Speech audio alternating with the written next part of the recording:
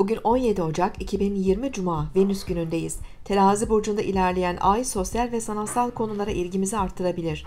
Sabah saatlerinde ay Oğlak burcundaki Satürn ve Plüton'la dik açı yapacak. Yakın ilişkilerde duygusal baskılar, manipülatif durumlar artabilir. Ev ve kariyere ait sorumluluklar üzerimize yük olabilir. Aşırı hırs ve tutkular ilişkileri zorlayabilir. Özellikle otorite pozisyonları ile ilgili konulara dengeli yaklaşmalıyız. Ruhsal ve bedensel kendimizi fazla zorlamamalıyız. Öğleden sonra ay Oğlak burcundaki güneşle dik açı yapacak ve son dördün fazına ulaşacak.